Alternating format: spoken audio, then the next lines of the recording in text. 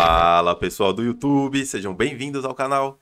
Eu sou o Marcelo, estamos de volta com Farthest Frontier, mas não é o jogo. Né? Vamos falar um pouquinho aí sobre as próximas atualizações que foram anunciadas. Tem muita gente confundindo isso aqui, tá? É, vai sair o hotfix 0.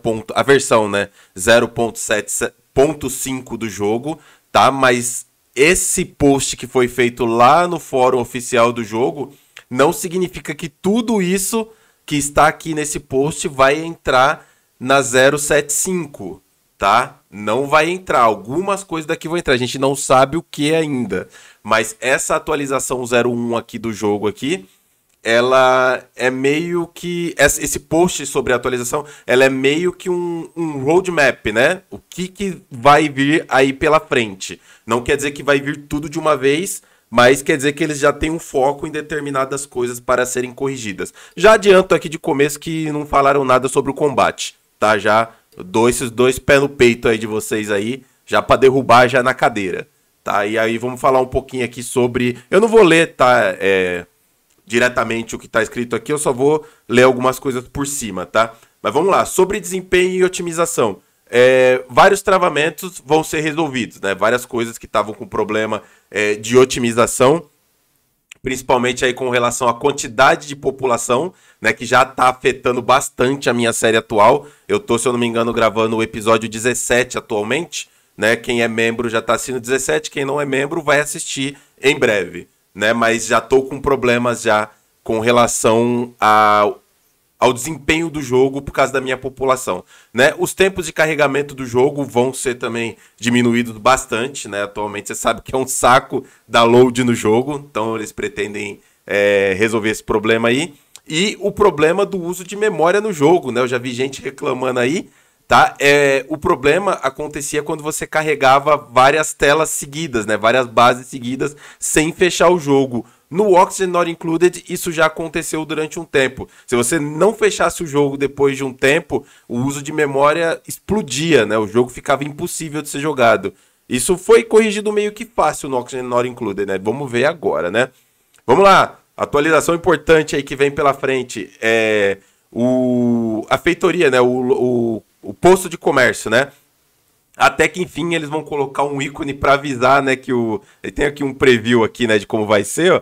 Vai ter um iconezinho lá falando que a porcaria do, do comerciante chegou, né? E vai ficar ali em cima o ícone enquanto ele estiver disponível lá para agora pelo menos, né, vai dar para saber que o cara tá lá, porque teve um, um, alguns episódios que eu gravei que nem esse símbolo aqui tava aparecendo. Né? Então, até que enfim resolveram mexer nisso, né? Ó, nessa parte aqui também corrigiram um, um bugzinho aí que tava dando no jogo que eu felizmente não passei por isso, né? Que era o fato de quando pegava fogo no centro comercial, o, o fogo nunca era apagado. Eu sempre o queimava até o final, né? Tava bugado aí, aí parece que vão corrigir isso aí também já para as próximas atualizações. É, eles vão dar uma mexida aí, né, no início do jogo. Muita gente reclamando que o início do jogo é muito difícil, que é complicado para iniciantes e, e eu me incluo nisso daí, tá? Eu fiz um post lá falando que não fazia sentido o jogo ser tão complicado assim para quem nunca é, né, para quem nunca teve contato com esse tipo de jogo, né? Não que estava difícil para mim, mas que o jogo realmente apresentava uma curva de aprendizado muito alta, né? Então eles vão mexer nisso, tá? Depois de bastante gente aí ter, ter comentado a respeito, eles vão inserir um novo mapa, né? Chamado ali de Idyllic Valley, né? O Vale Idílico. Acho que idílico tem alguma coisa a ver com a vida comum, né? A vida simples, né? Acho que é isso. Mas é um mapa aí que vai disponibilizar uma grande quantidade aí de recursos aí para os iniciantes, vai ter uma situação maior ali para o cara aprender a jogar, né? Para o cara aprender o básico. Pô, não pode também já jogar o cara no mapa onde ele não vai ter um recurso específico, né? Se ele nem sabe que recurso ele precisa, que qual recurso que falta. Então eles pensaram aí no pessoal que é mais iniciante aí e vão inserir, né, um novo mapa no jogo. Aí a galera reclamou tanto da pedra, né, que eles meteram um pedregulho gigante agora chamado Mega Rock no jogo, né? Isso aqui pa me parece que vai ser. Vai ter muita pedra aqui. Tá? Eu não sei quanto de pedra exatamente vai ter. Atualmente a estrutura de pedra que dá mais pedra no jogo, se eu não me engano, dá 160, tá? Mas eu acredito que isso aqui vai ter mais de mil pedras nessa Mega Rock aqui. Vamos dar um clique aqui para ver ela maior. Olha aí, ó, o tamanho da bitelona. Né? Eu acredito que vai ter mais de mil tranquilo de pedra nisso aqui, tá? Então, para quem tava tendo problemas aí com pedra no jogo, inclusive eu me incluo nessa, né? Nas planícies não tem praticamente nada de pedra se comparado com o tamanho da base que eu estou fazendo agora, né? Então vai ter aí um, um local para extrair pedra aí em grande quantidade, pelo menos por algum tempo. Bom, vamos lá. Ah, falando agora de late game, né? Ultra late game. Né? Me parece que vão é, inserir aí as, é, as minas infinitas no jogo, né? As minas profundas.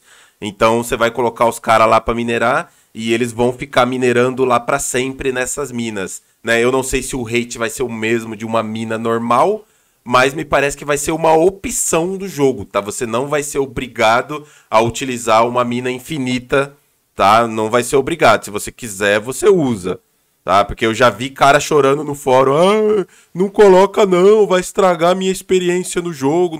Mano, é só não construir, tá? Não precisa ficar chorando não. Tá? Deixa para quem tem dificuldade no jogo, né, construir a mina infinita e jogar o joguinho ali de boa ali. Tá? Não fica querendo atrapalhar o cara que é menos experiente que você não. Deixa o cara lá tranquilo. E esse parágrafo aqui eu vou ler ele totalmente. Vamos dar uma analisada nesse parágrafo aqui. Para a disponibilidade de madeira, notamos que alguns de vocês recorrem ao uso de árvores decorativas para sustentar suas cidades. Embora esta seja uma boa solução, não é exatamente agradável. O que, que eles querem dizer com isso aqui? Tá?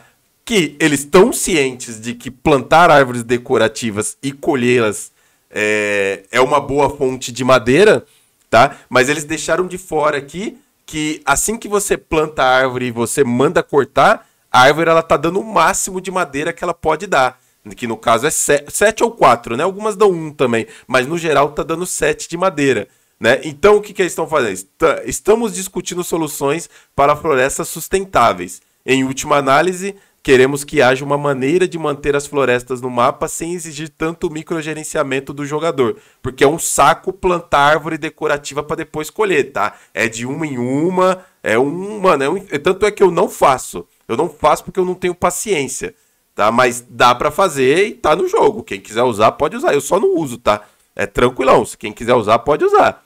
Eles, inclusive, já falaram aqui que é uma boa solução. Então, meu amigo, tá assinado embaixo. Fique atento para uma atualização futura. Né? Aparentemente, né, vai ter um silvicultor aí no jogo. Eu não sei se vale a pena colocar mais uma estrutura. Né? Podia ser o próprio arborista, né? O arborista poderia plantar árvores. Se tem necessidade de ter um silvicultor. Mas tudo bem. Vamos lá. É, edifícios espirituais. Aqui tem um, um, grande texto aqui. Quem quiser pausar para ler ou depois ir no. Pode ir, mas eu não vou me aprofundar muito nisso aqui, que eu não sei se isso aqui vai entrar tão rápido no jogo, tá? Que é uma questão é, mais religiosa no jogo. Eu não sei como é que eles vão implementar isso exatamente, mas me parece que vai ter caminhos religiosos no jogo que você vai poder seguir.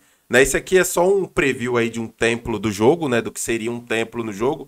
Provavelmente vai dar para dar upgrade, vai dar para mexer, mas eles deixaram bem claros que, ele, que eles não querem que seja somente uma estrutura de felicidade ou de atratividade, tá? Eles querem que seja uma estrutura que tenha uma mecânica ali para o jogador interagir, não seja simplesmente algo que o cara saia espalhando no mapa para ter algum benefício. Tá? Eu não quero me aprofundar muito nisso aqui, porque não, isso aqui acho que não chega tão cedo. Vamos lá, agora a parte mais importante, né? Tirando o combate, é claro que eles não comentaram nada sobre o combate, né? Nessa atualização, mas a parte mais importante, o que vem arrancando os cabelos de todo mundo nesse jogo, a gestão de produção e o armazenamento, ou seja, né, a logística em geral do jogo. Eu espero que isso aqui já entre, isso aqui, essa parte aqui, eu espero que já entre na 7.5 Tá, eu espero que já entre na 7.5. Eu não quero que isso aqui fique demorando muito para entrar, porque, mano, o, o pessoal vai começar a desistir do jogo por causa disso. Tá, vamos lá, vamos aqui com calma aqui. Né? Atualmente existem algumas limitações para o gerenciamento de recursos que gostaríamos de abordar em futuras atualizações. Não há método para transferir recursos entre armazenamentos. Então, isso aqui eu fiz um post específico né, no, no, no fórum logo quando o jogo foi lançado, assim, acho que no dia que o jogo foi lançado, eu fiz o post e esses quatro tópicos que estão aqui, tá? Fazem parte do meu post. Esses quatro tópicos, na verdade, são só três, né? Não, são quatro mesmo. Esses quatro tópicos fazem parte do meu post, tá? Que não tem como transferir é, recursos entre armazenamentos, né? Tem até ali o esquema ali de você usar o, o posto, né, de, de comercial para levar coisas posto comercial e depois levar para o armazenamento, mas mesmo assim é uma porcaria porque as coisas desaparecem, eles mesmo colocam aqui, né, no limbo, né? As coisas desaparecem no limbo, não faz sentido o que acontece com os produtos que você compra e armazena no, no posto comercial, né? Então eles já estão cientes, eles vão colocar um método de transferência de recursos. Não há como definir cotas, Gostaria mesmo que houvesse uma maneira de definir um armazenamento para sempre manter pelo menos. Mano, isso aqui é mandatório em qualquer jogo de gerenciamento, né, mano? Isso aqui já deveria ter saído junto com o jogo. Você poder definir que quando chegar X para a produção e quando chegar Y a produção volta, né? Mas infelizmente não tem. E também ainda não tem como você definir né, uma quantidade de itens que você pode deixar em um armazenamento para depois mandar para outro, né? Não tem prioridade de armazenamento no jogo ainda. E isso torna uma loucura, né? Não tem como definir limites de produção. Este é obrigatório para você que tem o melhor controle. Eles sabem disso, entendeu? Mas não sei por que, que os caras não colocaram. Tá vendo? E por fim, estamos planejando adicionar uma maneira de marcar e desmarcar categorias inteiras de recursos em seus edifícios de armazenamento. Apenas uma pequena mudança na qualidade de vida, mas ainda assim valiosa. Mano, essa aqui não faz nem sentido. As outras, ok, pode, mas isso aqui não faz nem sentido. Qualquer jogo de gerenciamento, né? Você tem, você pode escolher por categoria as coisas. Marcar ou desmarcar se uma coisa vai entrar ali ou não vai né? Então foi uma canelada braba aí dos desenvolvedores ter deixado isso aqui passar. Segundo eles, tá vindo aí nas próximas é, atualizações. Então creio eu que des, dessa atualização anunciada, isso aqui seja o mais importante, né? O gerenciamento aí de armazenagem no jogo e produção. Também falaram ali sobre o reposicionamento do cemitério, né? Que por enquanto não dá para é, destruir o cemitério, nem mudar ele de lugar, construiu, esquece. Mas aparentemente vai ter uma maneira aí de você trocar o cemitério de lugar e vai ter que pagar um dinheirinho, né? Pelo visto. Talvez eles coloquem mais uma profissão no jogo. Talvez o coveiro, pelo visto. Né? Não sei. Pode ser que sim.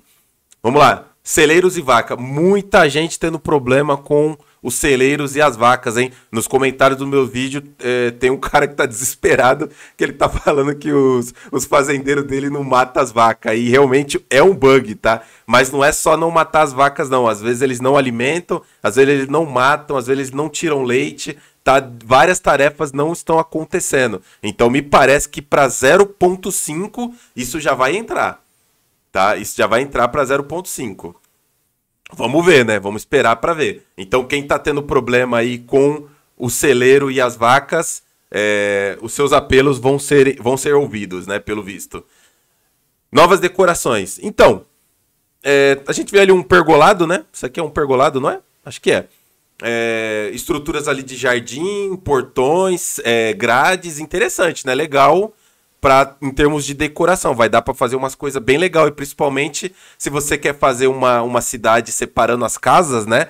Que as casas sejam individuais, não fica dividindo quintal com quintal. É porque a minha série atual ela é uma série focada em é, para ver a performance do jogo mesmo, né? Colocar ali população, inserir gente, estourar o jogo mesmo, ver até onde o computador aguenta, né? Mas hum, não precisa ser jogado assim. Se você quiser, você pode separar ali sua vilazinha, entendeu? Separar ali o um murinho entre, a cidade, entre as casas, sem problema nenhum. E aí, vai ter estruturas que vão, né?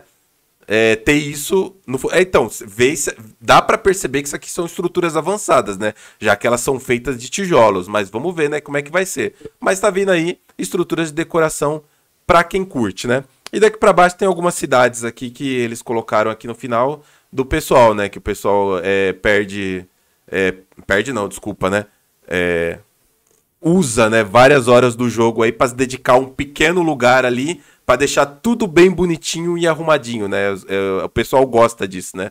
Então eles deixaram aqui três fotinhos aqui, né? E isso é o que vem por aí. Espero que venha o mais rápido possível a parte da logística e assim que tiver alguma novidade aí, eu trago para vocês com certeza. Beleza? Espero que vocês tenham curtido. Um pequeno vídeo aí para falar a respeito do que vem por aí. A gente se vê numa próxima atualização. Valeu. Falou.